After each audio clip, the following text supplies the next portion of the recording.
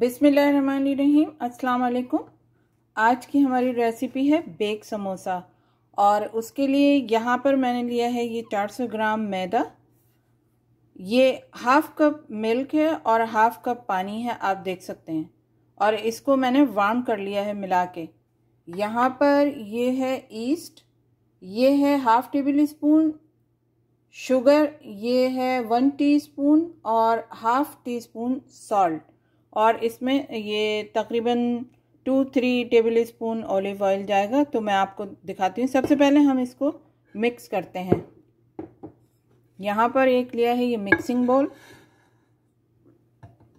इसमें जाएगा ये हमारा milk and water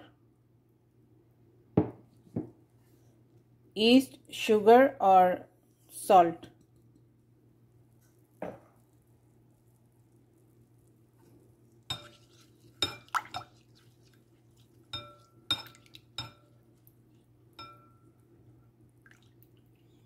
अब ये मैदा इसमें थोड़ा थोड़ा करके शामिल करना है।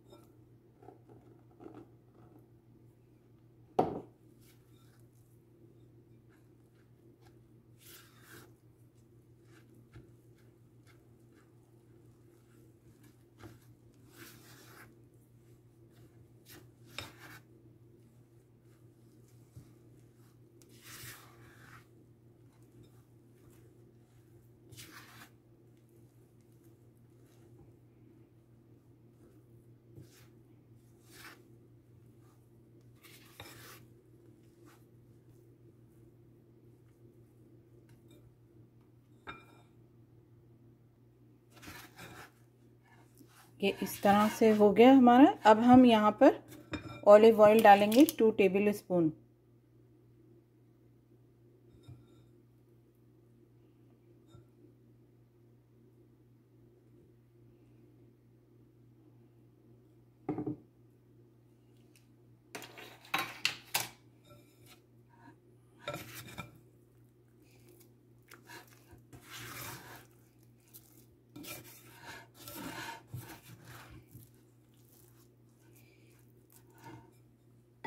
अब इसे हाथों की मदद से करेंगे।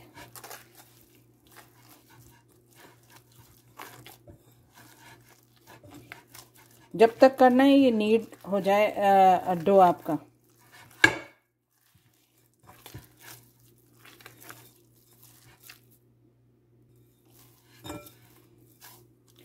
ये देखें, हमारा डो ऑलमोस्ट नीट हो गया है। अब इसी बॉल में इसको आप इस तरह से, इस तरह से बॉल बना के और इसे मैक्सिमम वन आवर के रेस्ट देना है तो कवर करके, प्लास्टिक रैप से इसको कवर करें। और किसी टावल से इसको ढक के और इसे वन आवर के लिए रख दें। इसकी स्टफिंग के लिए हमें चाहिए वन पाउंड कीमा। ये है मीडियम साइज़ के एक ऑनियन ऑरेंज बेल पेपर का एक पीस है, ये फोर फाइव क्लोव गार्लिक के हैं। थोड़ा सा ये हरा धनिया है कोरिएंडर लीफ और इसमें स्पाइसेस जो हैं, वो ओनली ये मैंने लिया हाफ़ टी स्पून से थोड़ा सा ज़्यादा मैंने सॉल्ट लिया है half teaspoon black pepper और one tablespoon tomato paste इन चीज़ों को मैं थोड़ा सा बारीक चॉप करूँगी और फिर कीमे में सारी चीज़ें मिक्स करेंगे। तो मैं चॉप करती हूँ इसको, फिर दिखाती हूँ आपको। यहाँ पर ये मैंने और सारी वेजिटेबल्स जो हैं वो चॉप करके इसमें डाल दी हैं, स्पाइसेस, टमेटो पेस्ट। अब हम थोड़ा सा इसमें ऑलिव ऑयल शामिल करेंगे। ये आप देख सकते हैं, बस इतना।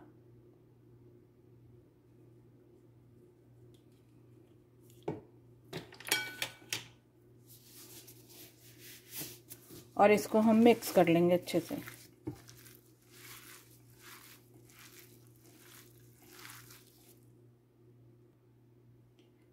ये मैंने कीमा मिक्स करने के बाद स्मॉल साइज़ के बॉल्स बना लिए हैं। फिर हम ये उसमें डो में स्टफ़ करेंगे। ये हमारा वन आवर हो चुका है। तो अब हम इसकी एयर रिलीज़ कर लेंगे।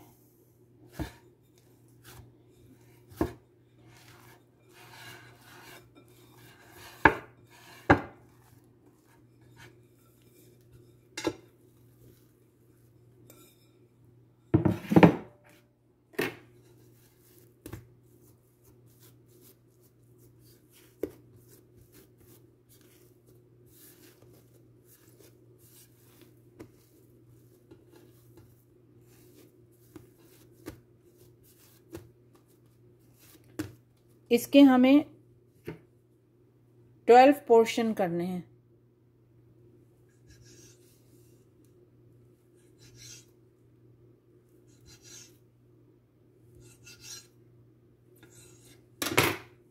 और हम इस तरह से इसके बॉल्स बनाएँगे।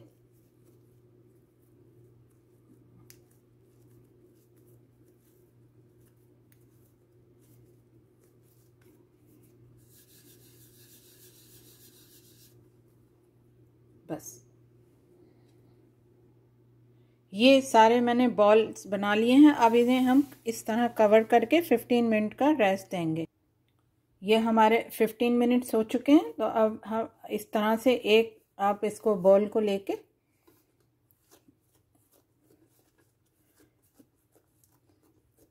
ऐसे प्रेस कीजिएगा हाथ से।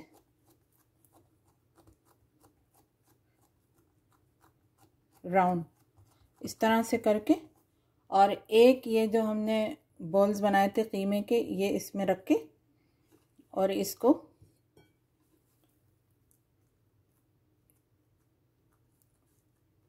इस तरह से हम बंद कर देंगे। यूँ।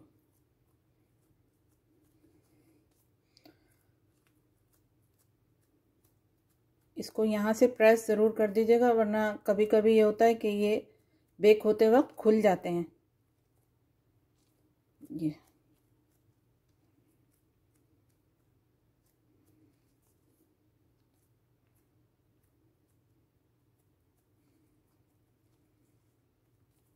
ये इस तरह से। एक और बनाती हूँ मैं।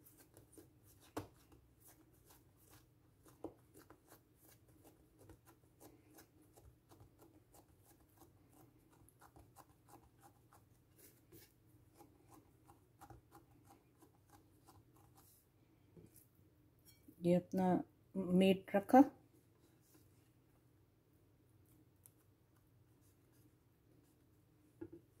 यहाँ से इसको उठा के इससे मिलाना है।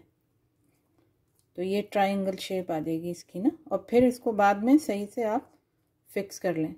प्रेस करके इस तरह से क्लोज कर दें इसको।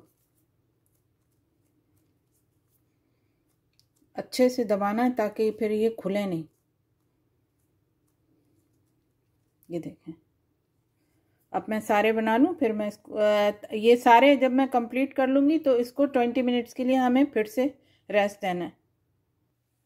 ये मैंने सारे रेडी कर लिए हैं, अब इनको मैं कवर करके ट्वेंटी मिनट्स का रेस्ट रेस्ट दूँगी।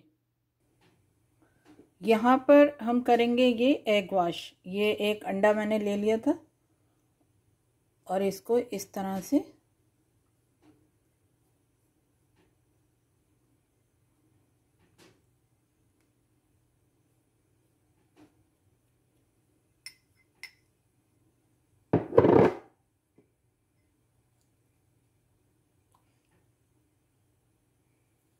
ये हैं ब्लैक सेसमी सीड, काले तिल। इनको बस थोड़े से इस तरह से स्प्रिंकल कर दें।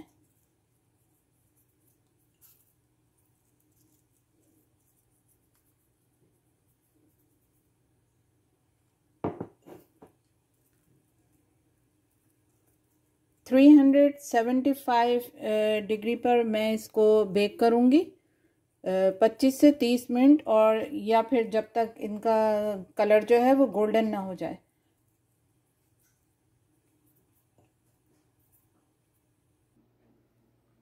ये हमारे, ये देखें, डन हो चुके हैं। ये कितने अच्छे बने हैं। ये देखें, बस इस तरह कलर आ जाए तो उसको निकाल लें बाहर। ये चटनी है इसके साथ। कोई भी सॉस, चटनी जो आप लोगों को पसंद हो, आपके साथ इसके साथ ले सकते हैं और इसको वैसे भी खा सकते हैं चाय कॉफ़ी के साथ। और अगर आप लोगों को वीडियो अच्छी लगी हो तो इसको ज़रूर लाइक करें, शेयर करें आगे। और चैनल को भी सब्सक्राइब करें। आप लोगों की सबकी सपोर्ट का बेहद शुक्रिया।